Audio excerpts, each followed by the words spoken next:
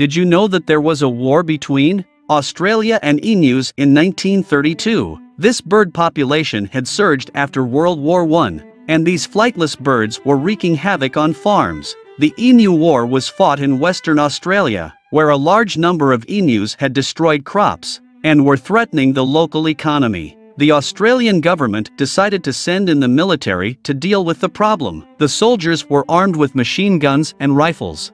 The emus were armed with sharp claws and beaks and they were also very good at camouflage. The emus were too fast and agile and they were able to dodge the bullets. The war lasted for several months and the Australian government eventually gave up. The emus had won. The war eventually became a national joke and it is still remembered today as one of the strangest conflicts in history. Subscribe to my channel for more knowledgeable facts.